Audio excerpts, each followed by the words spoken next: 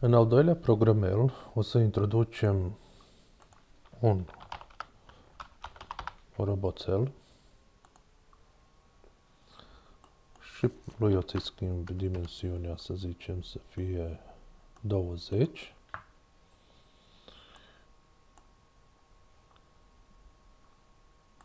O să-i punem elemente când se dă click, mișcare, mergi la poziția respectivă, stilou șterge tot, ca să fim siguri ceea ce am desenat cum este aici, să nu rămână desenat, ci să, să se șteargă. Și uh, o să încercăm să desenăm o linie întretăiată. Trebuie să ne asigurăm la mișcare că are direcția spre 90 de grade, adică o să meargă în dreapta. Repetă de 10 ori. Mergi 10 pași. Îmi va desena o linie scurtă. Și acum va trebui să ridice stilou. Iarăși mergi 10 pași și va trebui să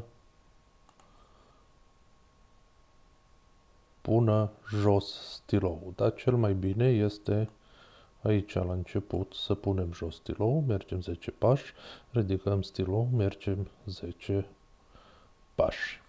Haideți să încercăm.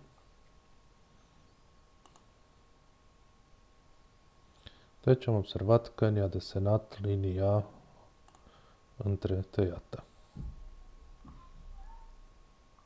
Dacă doresc linia mea să fie mai lungă, o să pun aici, de exemplu, 20. Și mi-a desenat o linie mai lungă. Dacă n-am fi folosit repetitivitate, atunci am fi trebuit să repetăm de foarte multe ori comanda. Și haideți să zicem, acum să mai facem o schimbare. De fiecare dată când a desenat linia, schimbă culoarea stiroului cu 10. Haideți să vedem ce se întâmplă.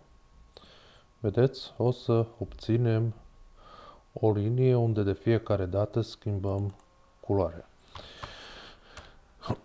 cu 20 vom obține altfel de linie.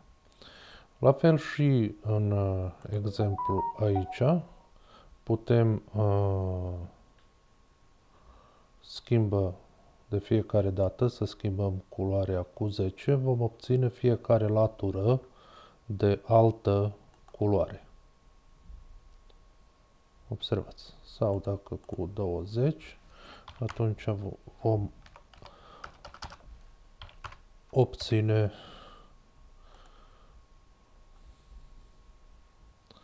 culorile să fie mai diferite. Deci, prin uh, astfel de comenzi de repetitivitate, uh, putem să repetăm aceleași comenzi de câte ori dorim sau există și repetă la infinit. Comanda repetă la infinit care nu se oprește de fapt niciodată.